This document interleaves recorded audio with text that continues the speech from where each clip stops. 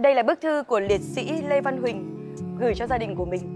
Và bức thư này là bức thư mà được gọi là gửi tới từ lòng đất. Tại sao lại như vậy? Thì cô trò mình sẽ cùng đọc nhé. Cô mời các bạn. Quảng Trị, ngày 11 tháng 9 năm 1972. Toàn gia đình kính thương. Hôm nay, con ngồi đây, bên vài dòng chữ cuối cùng khi đã đi nghiên cứu bí mật trong lòng đất, thì gia đình khỏi thấy đó là điều đột ngột. Mẹ kính mến, lớn lên trong tay mẹ từ khi còn trứng nước, chưa đền đáp được công ơn to lớn đó của mẹ, thì đứa con út của mẹ đã phải đi thăm bố con rồi. Thư này tới tay mẹ, chắc mẹ buồn lắm, lòng mang nặng, để đau giọt máu đảo hơn ao nước lã. Lá vàng còn ở trên cây, lá xanh rụng xuống, trời ơi hỡi trời. Con của mẹ đã đi xa, để lại cho mẹ nỗi buồn nhất trên đời.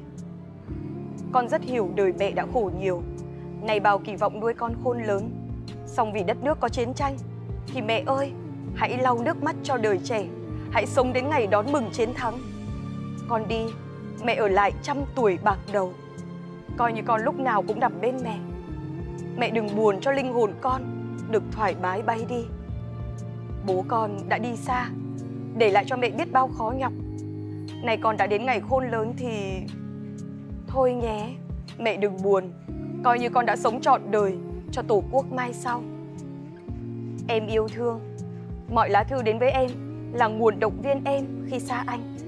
Song lá thư này đến tay em là nỗi buồn nhất và có lẽ là nỗi buồn đầu tiên trong cuộc đời của em.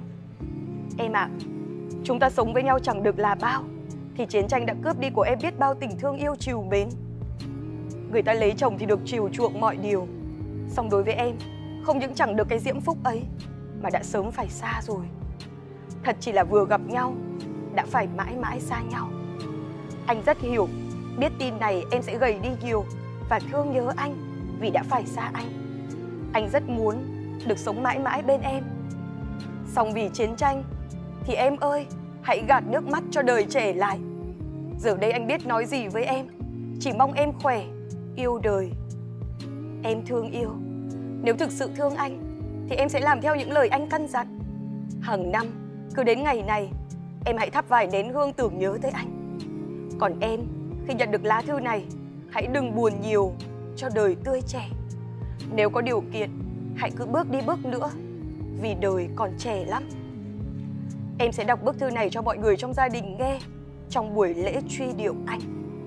Cho anh gửi lời chúc sức khỏe đến tất cả những người quen thân thuộc trên quê hương trong buổi lễ truy điệu lịch sử này.